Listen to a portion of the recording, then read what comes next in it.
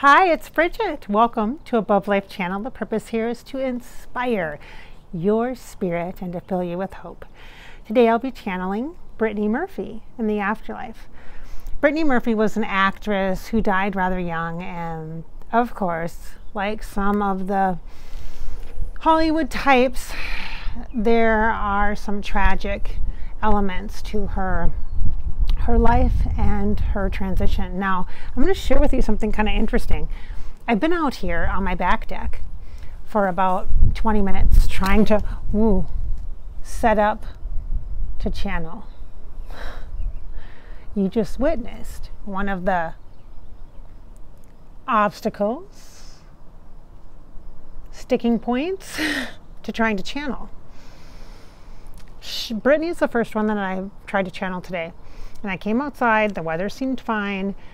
I was trying to find a spot where the lighting was okay because sometimes when it's overcast, it can be a little too dark.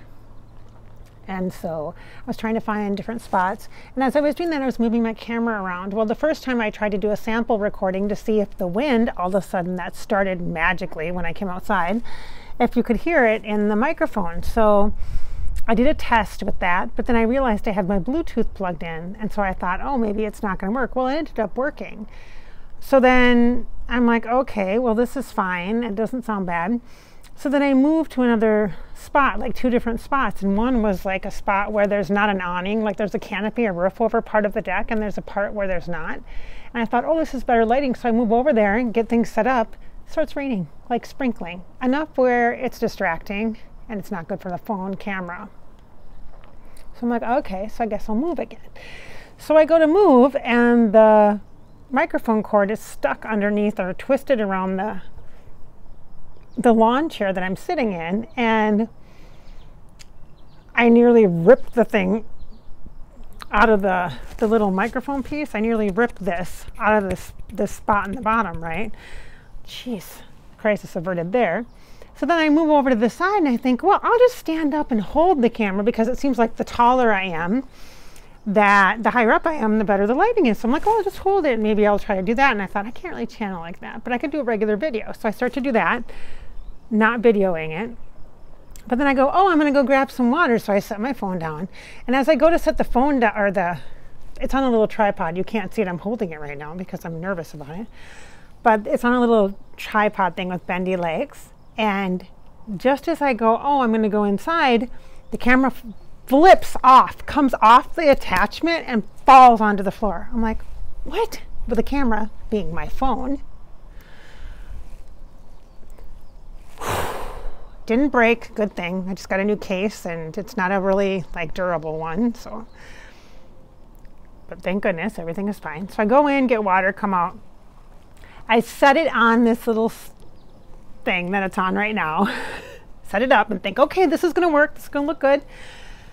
I set my water next to it and I go to move and I dump the water. The water tips over and like centimeters away from my phone. I mean, there, that could have been really bad. So I'm like, oh, jeez, oh, okay. So I move my water,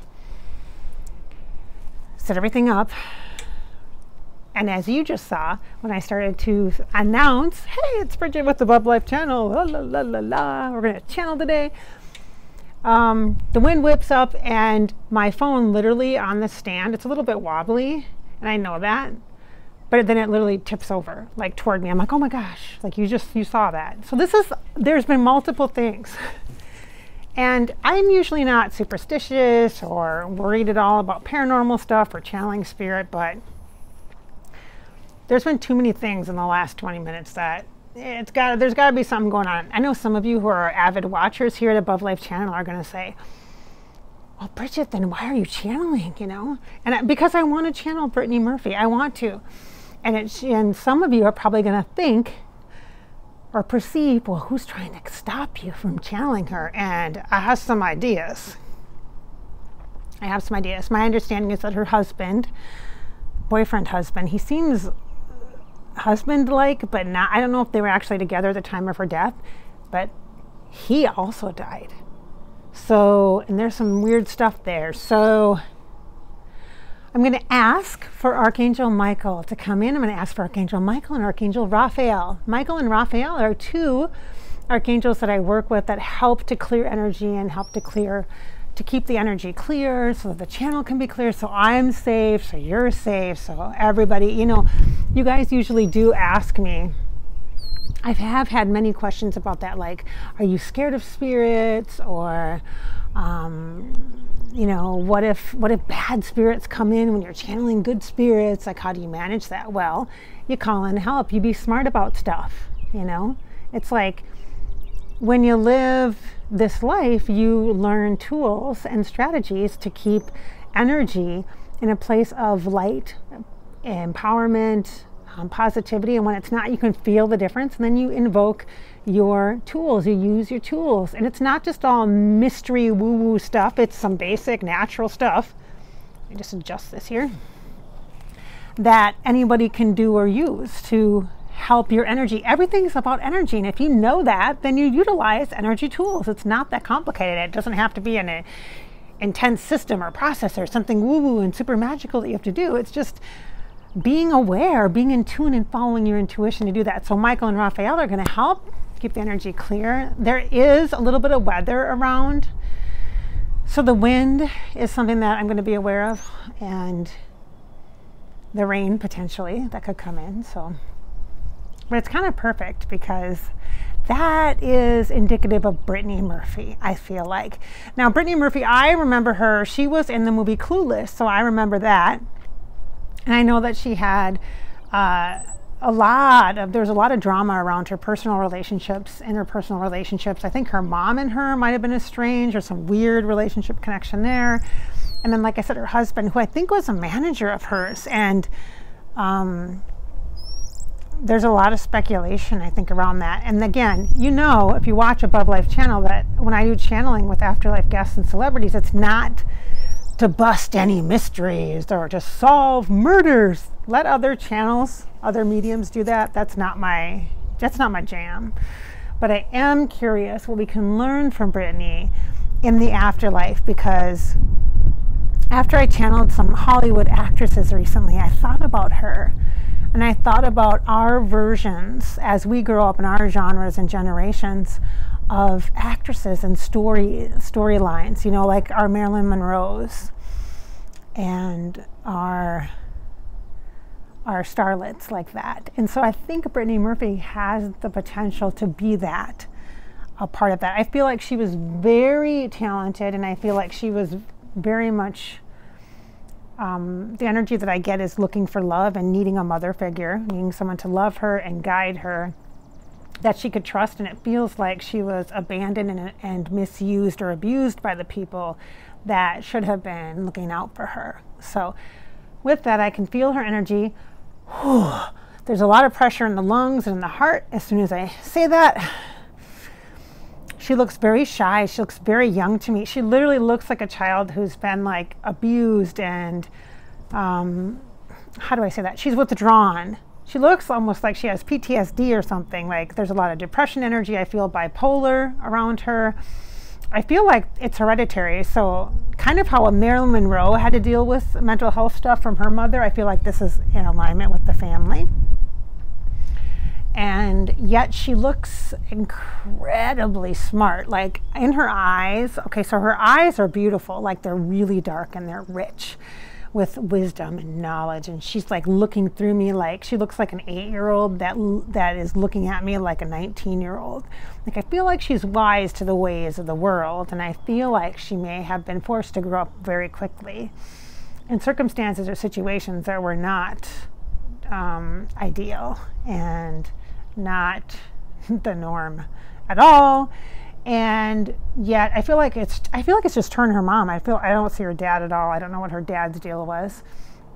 But I just feel like it was her and her mom. And then I feel like there's an aunt that was involved or something because her mom is also on again, off again or something. There's there's a lot of addiction and mental health stuff, and I can't tell the difference between if it's alcohol or drugs and painkillers. I see that, and I see a lot of stuff, and I see a lot of um, and I'm confused by this because Brittany's making me feel like she doesn't know who she can trust. And I feel like her mom, I can't tell if her mom's good or bad influence wise. I can't tell because she, I don't know, I don't think she knows if she can trust her or who, who to trust. I also feel like she was very much manipulated by the husband that she had, and I feel like um, he obviously used her money, but at the same time, um, just liked the control factor of her. And it's weird because I feel like he's kind of like a not not known person. Like people don't know him. Like he's an average kind of person that um, just saw her as power and money and like wasn't I don't even know if he was in the entertainment industry or maybe wanted to be and like he's not a great guy. He doesn't feel warm and fuzzy. He feels like he's out for himself. He feels kind of dumb to be honest, like not very smart common sense wise. Like has this persona that he can do what he wants to do and it doesn't matter cuz she's famous, you know, and he's with her. And yet at the same time I feel like there's a part of him that wants to love her or wants to to be part of like a love story, like a Hollywood love story, but it's not really possible. He doesn't, he's not all there in the mind. Um,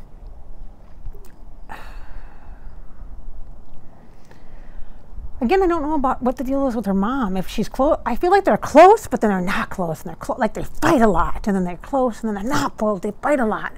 I think mom has some stuff going on. I think there's some mental health things or addiction things, and I feel like she need. This is, I'm going to say a horrible phrase, you guys, cash cow. But I feel like Brittany was her cash cow, and other people when it was. I'm not saying that she only wanted her for that and that she was mean to her. I'm just saying that Brittany's success was her mother's um, success, not because her mom wanted to be famous, but because she wanted the money. She needed the money and saw Brittany's talent as a way that she could be sustained and taken care of in her life too. You know, and I don't know necessarily know that she's mean intentionally, but I think that she's not it's not a right relationship at all. And she's saying brittany's making me feel like there's some icky stuff here, you guys. brittany's making me feel like there was inappropriate relationships with older men with brittany and that to get ahead in Hollywood, it's kind of like the Me Too stuff. To get ahead in Hollywood, she had to do some things that she wouldn't necessarily um, have wanted to do, and um, and her mom. I don't want to say encouraged it, but yeah. Um, and I feel like there's a southern connection, like Nashville, Tennessee, Nashville, Nashville, Tennessee, Nashville, something and I feel like there's an there might be an Elvis connection actually. Maybe her mom was an Elvis fan. I don't know.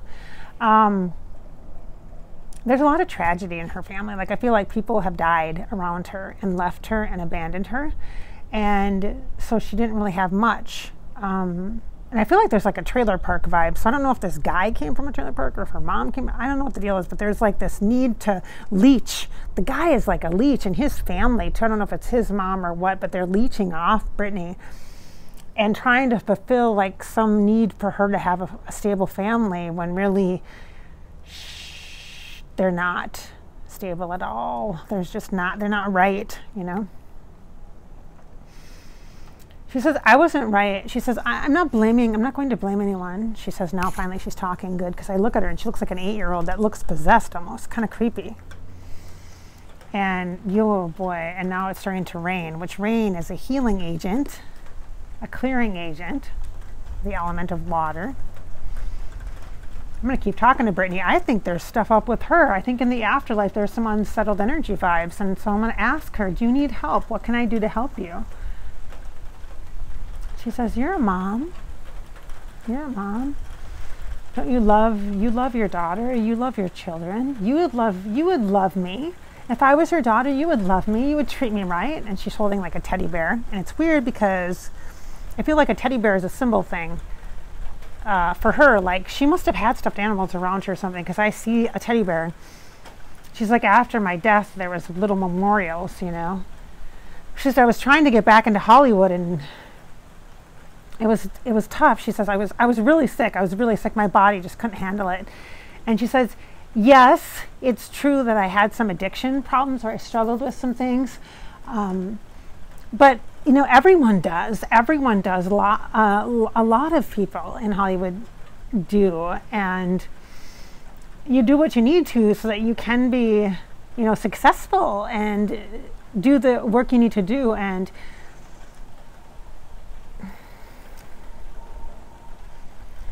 I had dreams for my life that I wanted to be a mom. And she says that she, she's showing me like having a baby or being pregnant, maybe having a miscarriage or something. I wanted to be a mom. She said, wanted to be a mom. And I was promised, you know, dreams of, you know, like the white picket fence and, you know, all that. It sounds so silly, doesn't it? And I thought that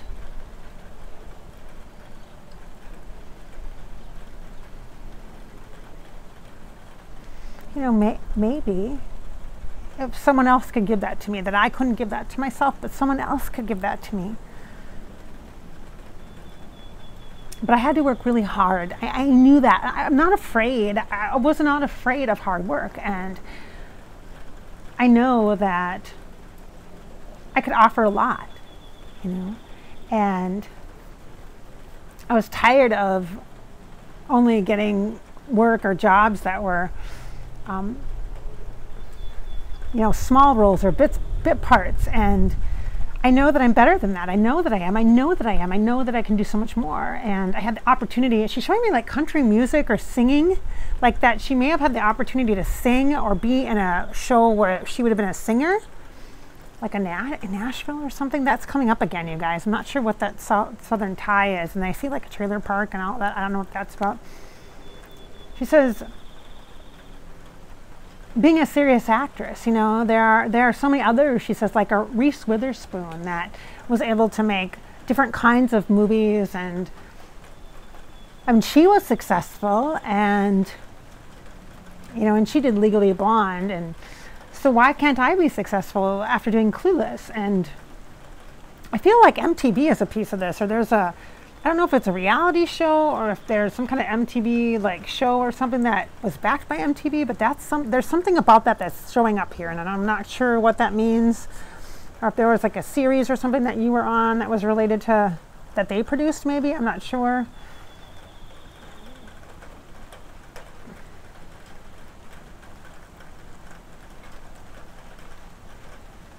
She says the money goes fast. It just goes away so fast and I wasn't really out for money for myself. I just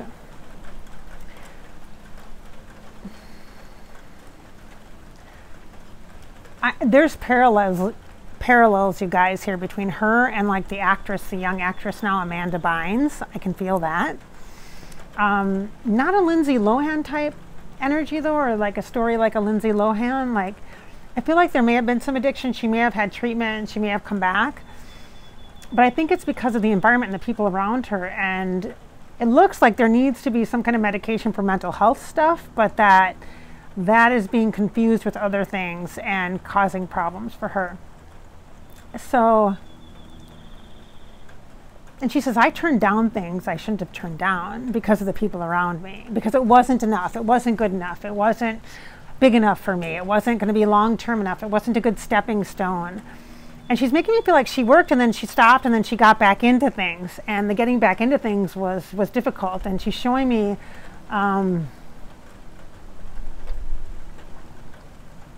and then uh, there's some kind of again there's like a singing star kind of vibe like a pop star vibe but a country western or something. I don't know what that's about. If you guys are brittany murphy fan fill that in the blanks there and if she was pregnant or had an abortion or a miscarriage and you know that, will you put that below? Because I can feel that. There's a part of her that aches for wanting to be a mom.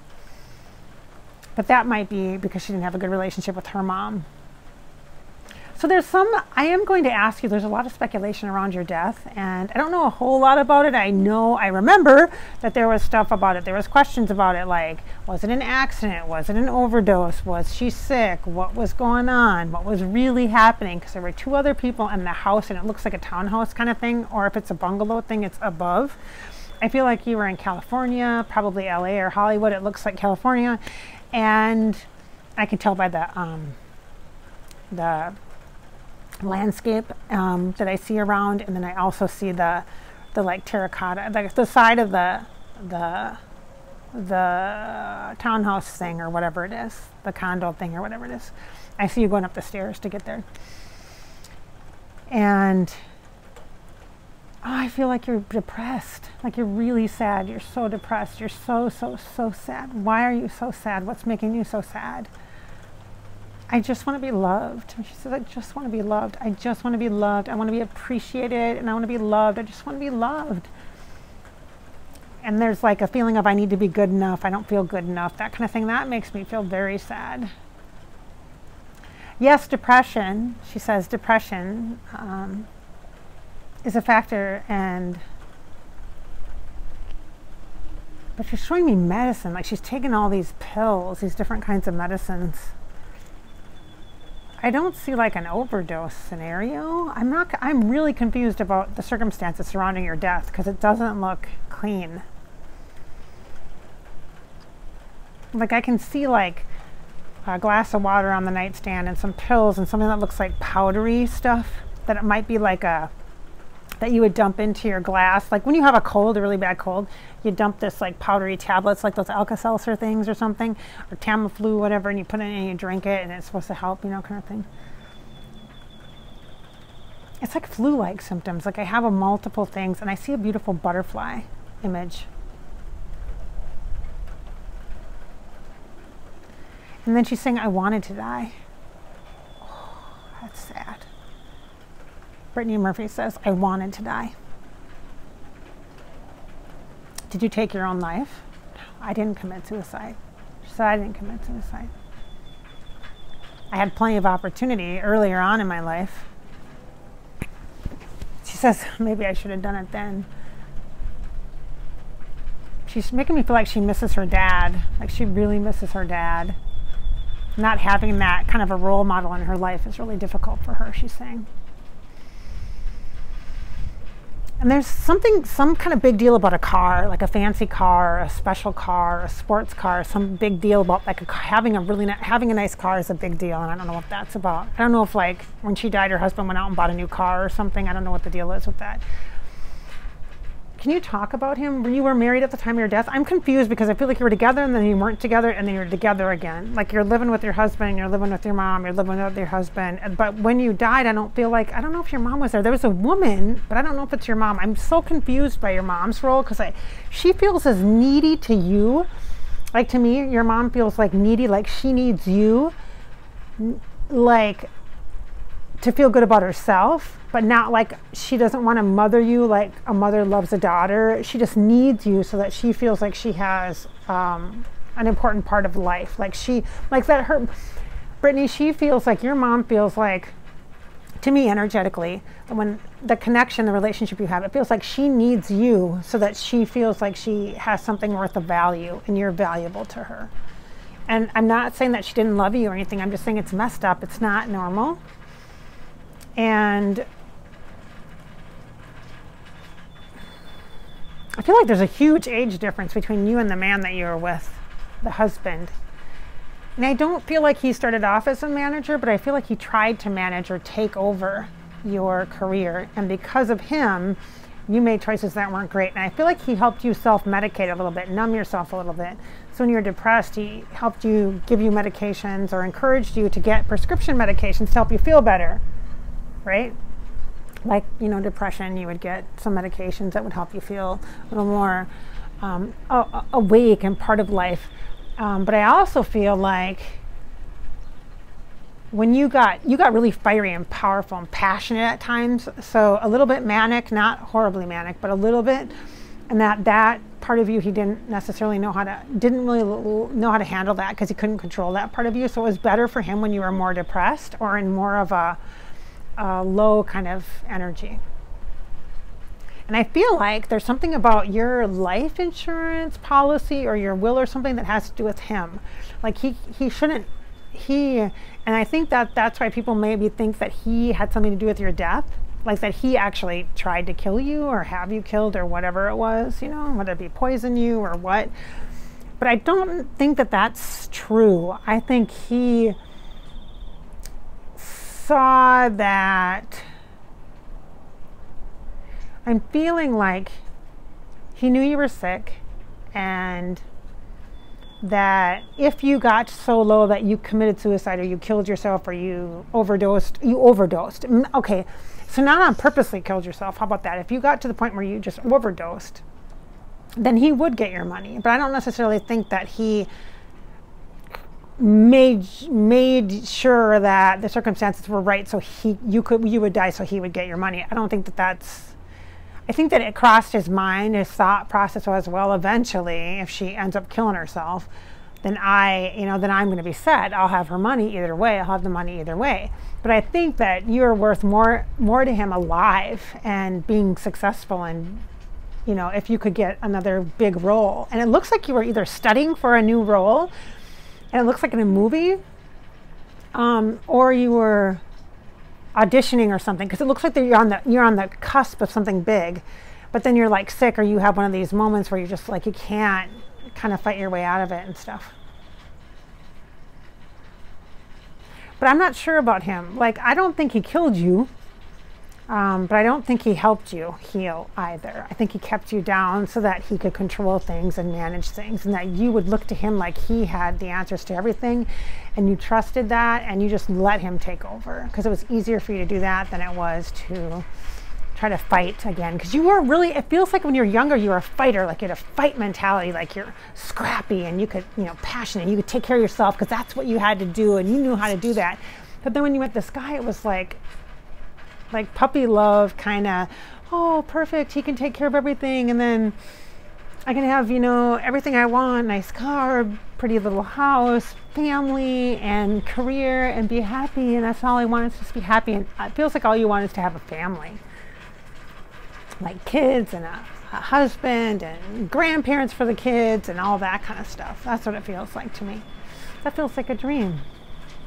Mm-hmm. Interesting. Interesting. So I'm connecting with her through the heart chakra, but I'm not feeling intensely her energy. When I first connected with her, she looks like about an eight year old girl and needing healing.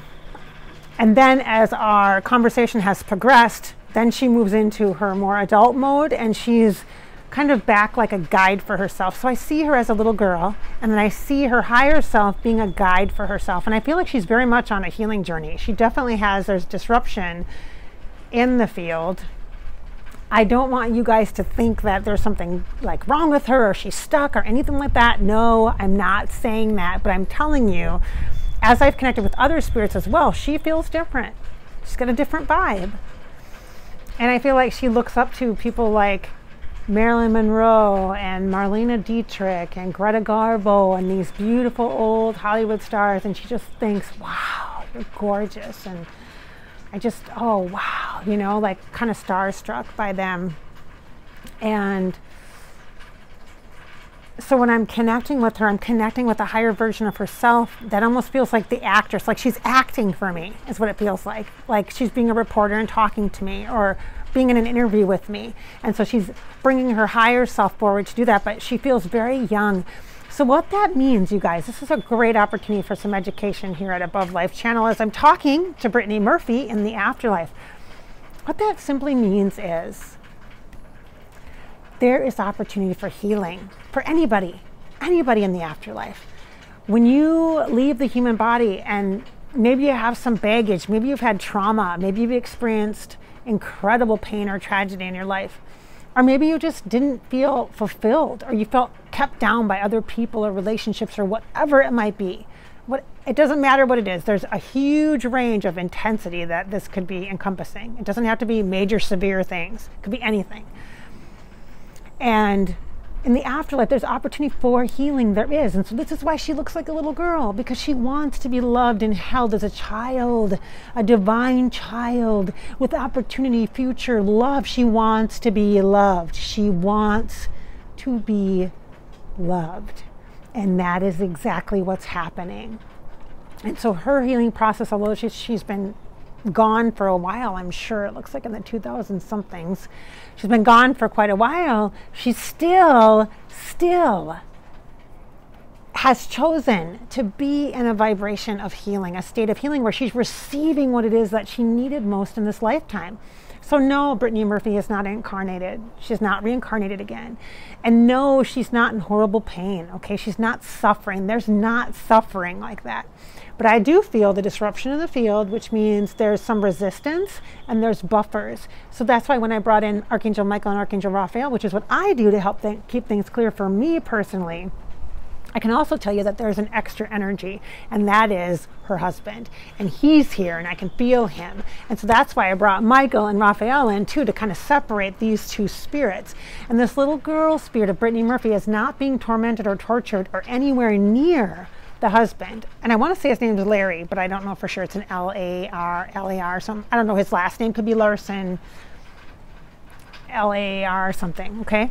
Um, he is not messing with her. He's not hurting her, but he's got some stuff going on. And I do not, I'm to have to actually move you guys because it's getting pretty rainy right here.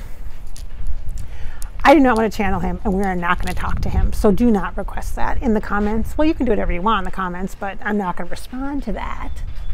So I just want to be really clear. So when I say people feel different or weird or there's a lot of psychic energy around people and the spirits kind of seem not at rest, you know, because we say rest in peace, rest in peace. I hope you find peace.